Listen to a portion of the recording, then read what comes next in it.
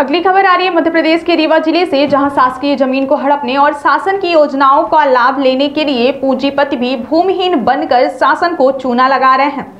असली भूमाफियाओं के खिलाफ प्रशासन कार्यवाही नहीं कर रहा, जिसके चलते इनके हौसले बुलंद हैं। राजनीतिक संरक्षण प्राप्त भूमाफियाओं के द्वारा शासन की ज़मीन को हड़प कर गरीबों को मिलने वाली योजनाओं से वंचित कर रहे हैं ताज़ा मामला जवा तहसील के राजस्व निरीक्षक मंडल डभौरा का है, जहाँ पटवारी हल्का दोदर के राजस्व ग्राम दोदर स्थित मध्य प्रदेश शासन की आराजी 138 एवं 138 बटा 528 के अंश भाग में भूमिहीन बनकर फर्जी दस्तावेज़ से भगत सिंह, शिवराज सिंह ने कब्जा कर लिया है। बताया जाता है कि फर्जी दस्तावेज़ बनाकर व्यवस्थापन कराया गया, जिसे निरस्त करते हुए दोषी लोगों के विरुद्ध आपराधिक प्रकरण दर्ज करने की मांग स्थानीय लोगों ने की है। उक्त शिकायत कलेक्टर से की गई है। बताया जाता है कि शिवराम सिंह पिता अमर बहादुर सिंह, सुदामा सिंह पिता धीरेन्द्र सिंह, अनिरुद्ध सिंह पिता बीरेन्द्र कुमार सिंह, भगत सिंह पिता बीरेन्द्र सिंह, उमेश सिंह पिता धीरेन्द्र सिंह, सभी निवासी ग्राम दोदर थाना पनवार के रहने वाले हैं।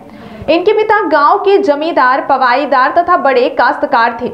इनके द्वारा शासन की व्यवस्थापन नीति का अपने प्रभाव के तहत फर्जी दस्तावेज़ के सहारे भूमिहीन बताकर मध्य प्रदेश शासन के राजस्व ग्राम की कई जमीनों में व्यवस्थापन दर्ज करवा लिया। जबकि शासन में व्यवस्थापन नीति के तहत इन्हें व्यवस्थापन का अधिकार प्राप्त नहीं है।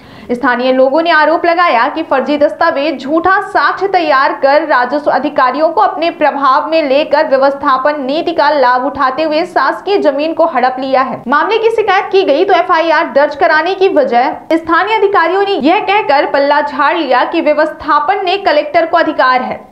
जिसके बाद पीड़ित कलेक्टर से शिकायत की है। स्थानीय लोगों ने आरोपियों के विरुद्ध धोखाधड़ी का प्रकरण दर्ज करने की मांग की है। बताया जाता है कि स्थानीय लोगों ने मांग की है कि उक्त भूमि पथरीली है। इसलिए उसे गोचर घोषित करते हुए सीमांकन कराया जाए। आइए सुनाते स्थानीय लोगों ने क्या जानकारी दी है। हाँ ये बतावा कोने गाँव क्या है? अच्छा नाम का है? रामचंद हाँ। तो यह सरकारी जौन ज़मीन है अपना के? तो ये कोने नंबर क्या है पता?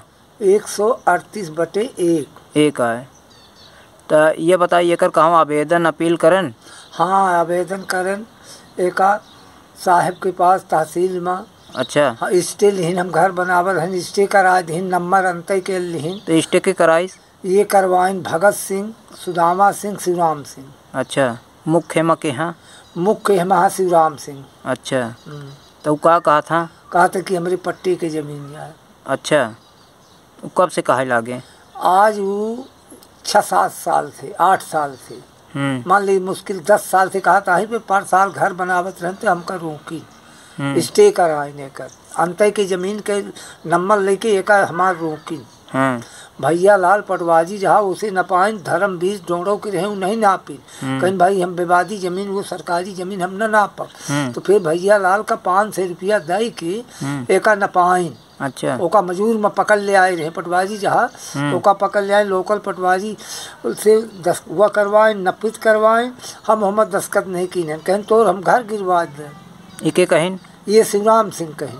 कब कहिन आज से सात आठ साल हम्म। हम्म। तो फिर तू का कहे? हम कहें साहब गिरवा दे।